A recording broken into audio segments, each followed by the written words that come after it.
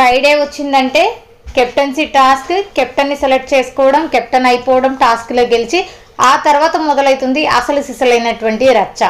Best versus worst చాలా weeks నుండి best ever అనేది చెప్పట్లేదు.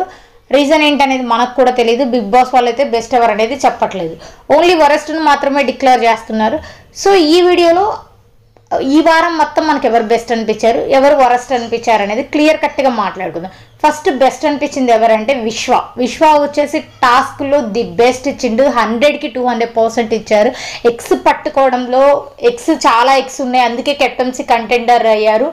అంతేకాకుండా ఎక్స్తో పాటు కూడా తను ఏదైతే బట్టలు వేసుకున్నాడో వన్ నాట్ సిక్స్ మొత్తం నూట ఆరు క్లోక్స్ ఓ మై గాడ్ అన్ని క్లోక్స్ వేసుకున్నాడు. చాలా ఎక్సలెంట్ పర్ఫార్మెన్స్ ఇచ్చారు విశ్వ. అంతేకాకుండా ఈ వీక్ ఎవరితో గొడవలు కానీ ఎక్కువ ట్రిగర్ అవ్వడం కానీ లేకుండా ప్రతి ఒక్క ఇంటి సభ్యులతో అన్యోన్నతగా ఉన్న వ్యక్తి కూడా విశ్వానే కాబట్టి నా దృష్టిలో బెస్ట్ పర్ఫార్మర్ విశ్వ.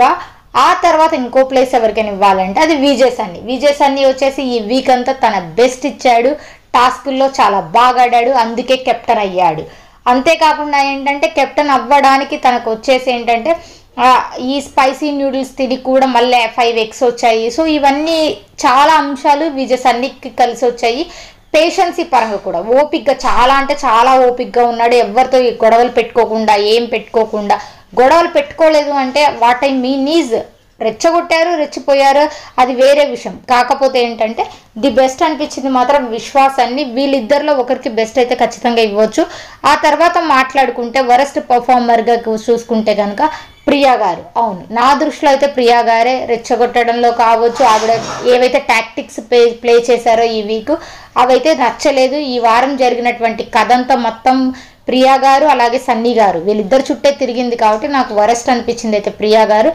మీ దృష్టిలో బెస్ట్ అండ్ వరస్ట్ ఎవరు అనేది కామెంట్ సెక్షన్లో తప్పకుండా షేర్ చేసుకోండి. Thank you so much